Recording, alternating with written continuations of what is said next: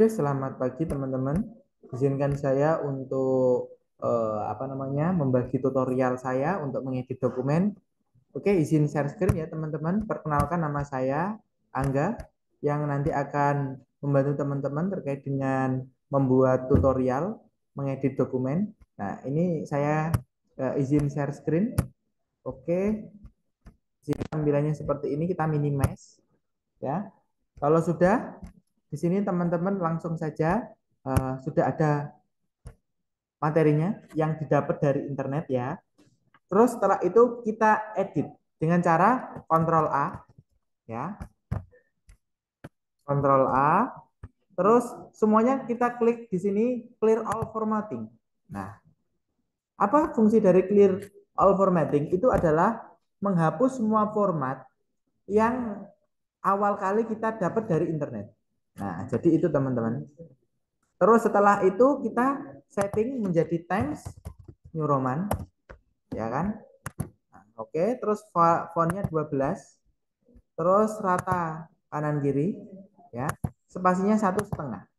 Nah, ini nanti kok tampilannya seperti ini ya nanti kita edit satu persatu. Oke, setelah itu di sini kita blok nilai-nilai Pancasila, kata pengantar, rata tengah, ya kan? Terus kita klik, misalnya di sini kita mau menjadi heading satu, nanti biar muncul di eh, daftar isi otomatis. Nah ini kita klik tata tengah, kita ubah lagi menjadi Times New Roman, ukurannya 12. Oke. Warna fontnya menjadi hitam, otomatis. Oke. Nah, ini di sini terus setelah itu kita blok di sini. Ya. Nah, di sini sudah sesuai rata satu setengah. Nah, di sini karena memang copy paste, saudara-saudara harus menyempurnakan nah, dengan cara dihapusi satu persatu.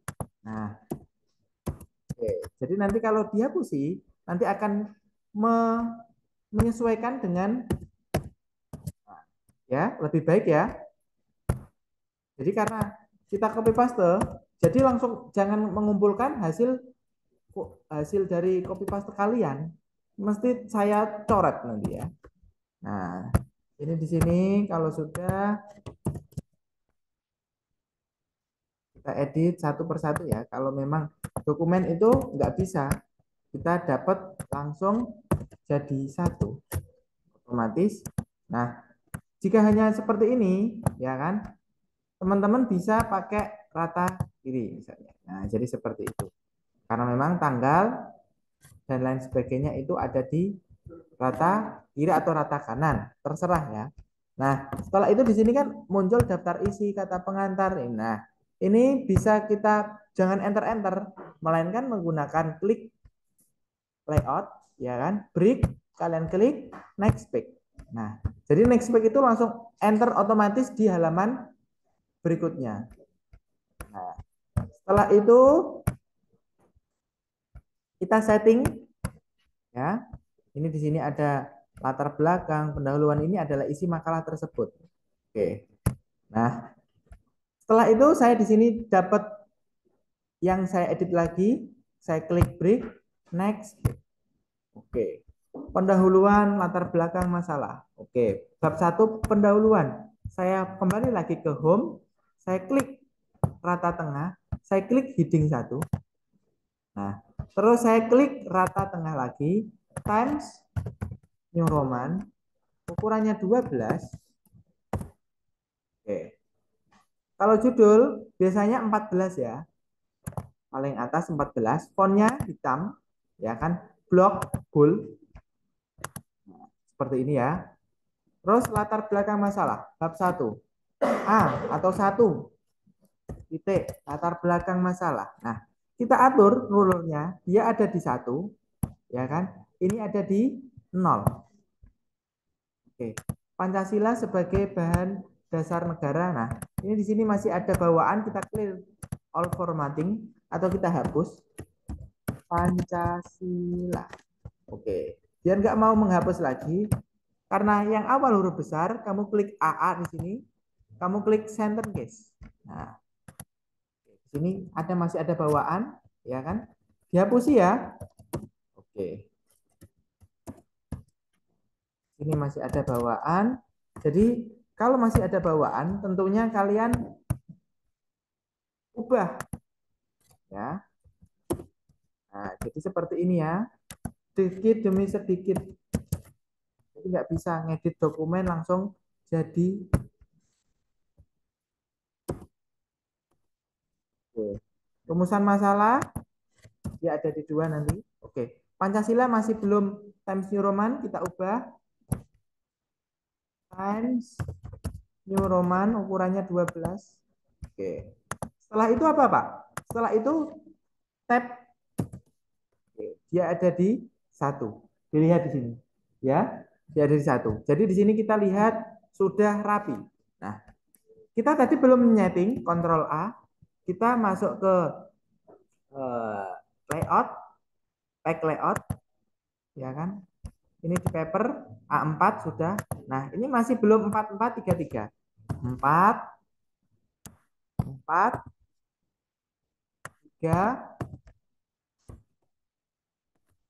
3. Oke ya. Kita klik oke. Jadi di sini sudah terlihat. Nah, Pak di sini kok ada enter Pak? Ya berarti di sini masih ada bawaan. Nah, jadi seperti itu. Nanti terlihat ya. Kita blok lagi spasinya, masuk ke menu home, klik di sini satu setengah. Oke, sudah. Nah, setelah itu di sini rumusan masalah dia ada di dua. Kita atur lagi di sini di ruler satu di sini 0. Apa pengertian nilai? Apa yang dimaksud dengan Pancasila? Nah, jadi di sini kalau sudah peranaan, kalian bisa klik di blok dulu, biar tidak usah nget, eh, apa namanya ngetik satu-satu. Di sini pilih number, numbering. Di sini ABC aja. Nah, terus di setting di satu ya diingat-ingat karena anaknya ya kan? Anaknya itu selalu di belakang. Nah karena di sini sudah kepake ya kan? Berarti anaknya dia menjorok. Menjorok jaraknya juga satu. Jadi seperti itu. Tujuan sama ya kan? Tiga. Oke. Kita tarik di sini di satu ya kan? Ini di nol oke Terus di sini mengenai pengertian manfaat kita blok lagi sama. Ini menjadi numbering, kita pakai abjad. Nah, ini masih belum rapi, kita rapikan. Oke.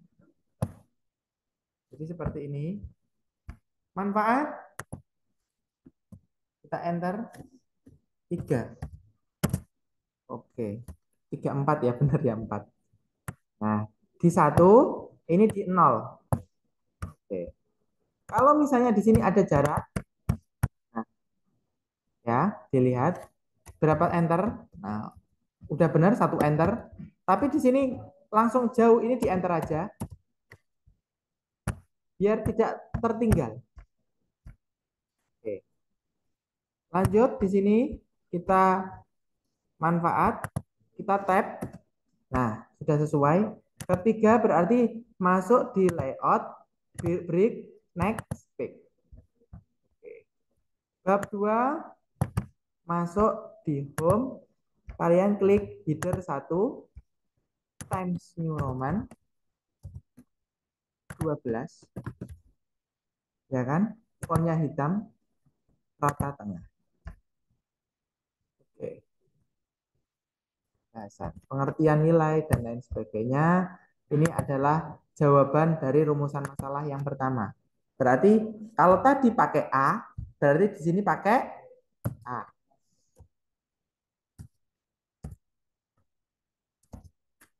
Oke.